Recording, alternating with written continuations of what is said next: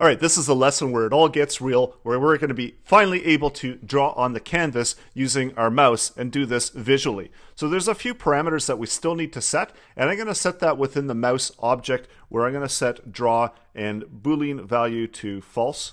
And this is the value that we're going to toggle whether we're up or down. So checking to see whatever the value of val is, and depending on if it's up or down, we're going to update the value of draw. So if val is equal to up, they're going to take the value of m draw and set that to false because we don't want to be drawing if the pen is up.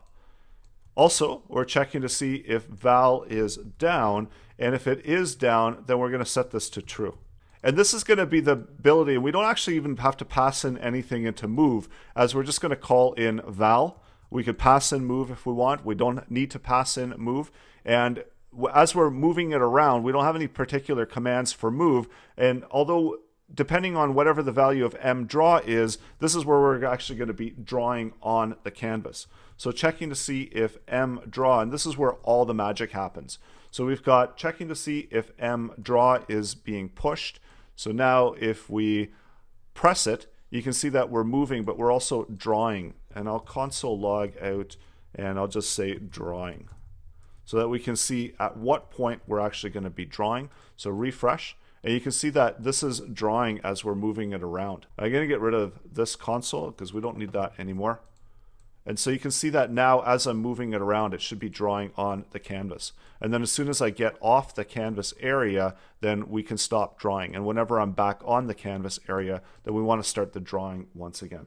So try that and we're going to set up CTX begin path because this is a new path that we want to create. And then CTX and using the move to method, we're going to take whatever the position of last X is and move to there and also move to whatever the position of last Y is. So we're moving the pen, uh, the pen where we're starting position is to wherever we know where the last position is. And that's being tracked once again whenever the mouse is being moved to whatever the current position of the mouse is or whatever we know the current position of the mouse was.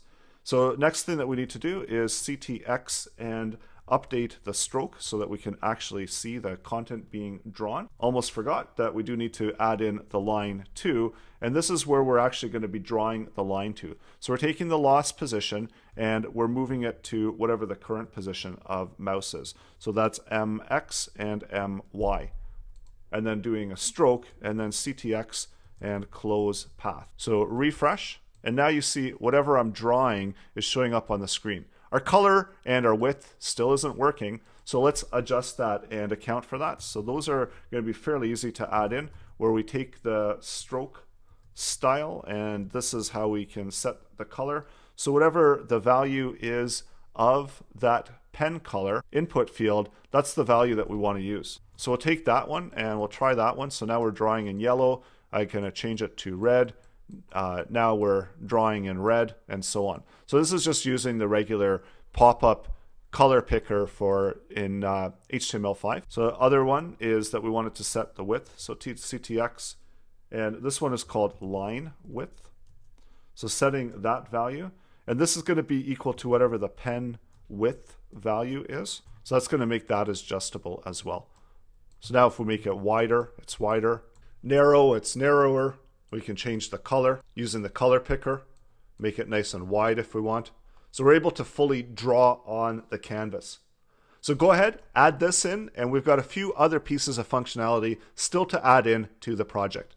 So guard the ability to draw on your canvas.